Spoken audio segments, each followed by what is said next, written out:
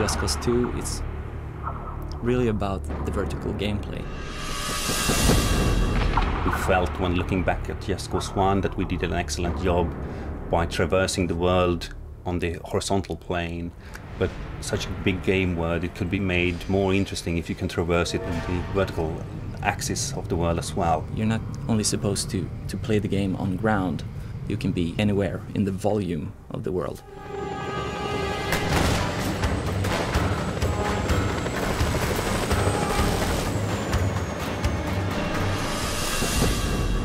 You have a lot of different uh, ways that you can sort of traverse this huge landscape.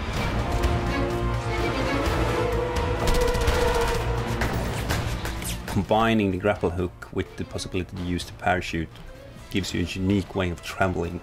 Wheel yourself in with the help of the grappling hook and then you open your parachute so you slingshot out and you can start to travel around the world. While in the parachute you can also use your grapple hook to latch on to things to give yourself a bit of speed. You can tether yourself really and climb buildings with the grappling hook.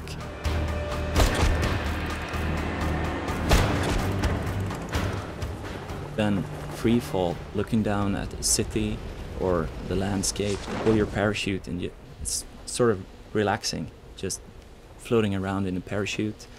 And then you see your enemies, like little ants down there, and you start to move, move in their direction. You take your parachute and go there, and then pull out your guns and start firing at them.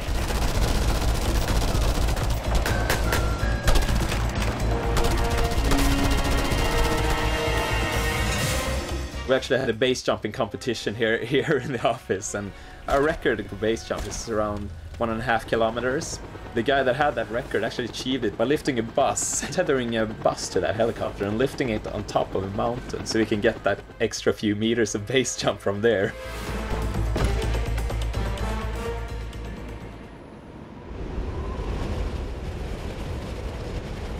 Those simple tools of a line in one hand and a parachute in your back, you can do great things as Rico, and uh, it's it's really great, great fun.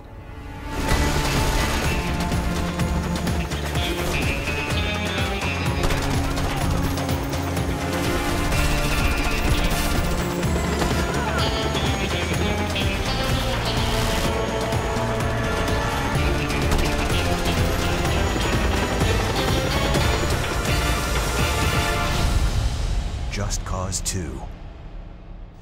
Coming 2010.